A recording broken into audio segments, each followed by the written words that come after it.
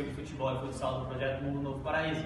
Iremos falar hoje sobre as posições do futsal. No futsal existem quatro posições: o goleiro, o fixo, os alas e o pivô. Por ser um esporte dinâmico e com muitas movimentações, todos os atletas devem conhecer todas as posições, inclusive a posição de goleiro.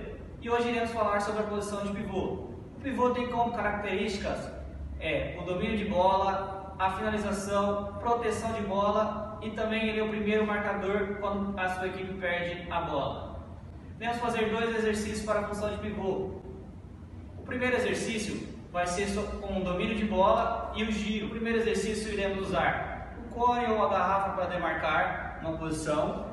O pivô sempre à frente da marcação irá receber o passe e fazer o giro. Lembrando sempre de utilizar os dois pés. Faz o giro para o lado direito, usando o pé esquerdo, e para o lado esquerdo, usando o pé direito.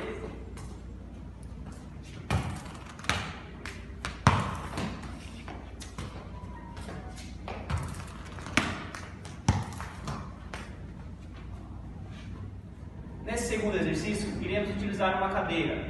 O pivô vai sentar na cadeira, receber o passe, dominar, fazer o giro e finalizar o gol. Lembrando sempre de fazer para ambos os lados. Recebi o passe, girei,